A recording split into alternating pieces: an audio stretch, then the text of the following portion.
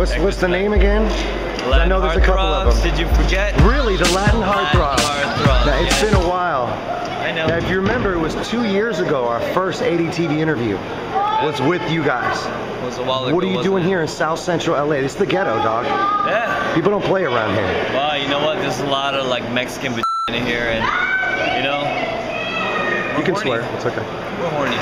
Really? So we're gonna come here and get people pregnant. Right here, when, when they get pregnant, they just go on welfare and they get WIC and stuff, and it doesn't matter. They don't even come bug us. So me and Hector, he's been doing this gay thing for a while, but you know what? I'm back finally from rehabilitation. The damn knee that I got injured. Knees I'm better? Back, 100%, baby. Show Yeah, but I, I week. detect a little anger in your voice. The last time I saw the Latin heartthrobs, they were they were fan favorites. Yeah, not anymore. It What are you talking like about? Forget about people when they don't show up for a while, and that's kind of messed up. So you know what? From now on, we're just gonna kick ass, take names, own everybody's girlfriend, and we don't care about anything. Those titles are gonna be ours in no time. Tune in next week. Peace.